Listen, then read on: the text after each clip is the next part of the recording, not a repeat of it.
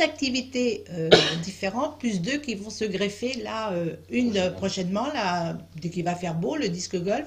Et à la rentrée de septembre, on me fera Active Mémoire. Donc Active Mémoire, c'est euh, un créneau qui est un peu comme le SMS si vous voulez. Ça va être ludique, mais c'est surtout pour faire travailler la mémoire parce qu'on en a tous besoin. Mm. La souplesse, l'équilibre. Tout ça, il, sera aussi. Ça sera sportif aussi. C'est une activité euh, multiple, un créneau d'activité multiple pour des, un public fragilisé. Voilà, c'est surtout ça, c'est le public fragilisé. Vous sortez d'une opération, vous sortez d'une maladie, vous sortez d'une déprime. euh, voilà, donc les, les, le- les médecins vont, ou l'hôpital va vous mettre en convalescence, puis après on dit, bon, ben maintenant vous rentrez chez vous. Ah oui, qu'est-ce qu'on fait chez nous? On fait rien. Donc nous, en attendant qu'ils reprennent l'activité normale qu'ils faisaient avant, ils viennent ici à cette activité et au bout d'un certain temps, ils repartent dans la bonne activité de- du club.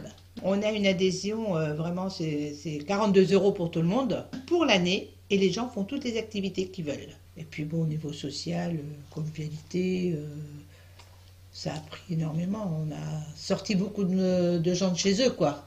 L'isolement du senior, ça c'était drôlement important quand même.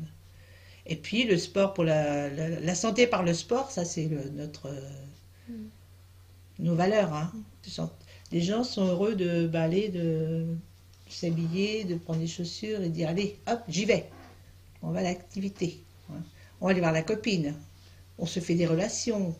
On a vu le- la- l'importance qu'on a eue dans cette association de, de faire ce qu'on fait, quoi.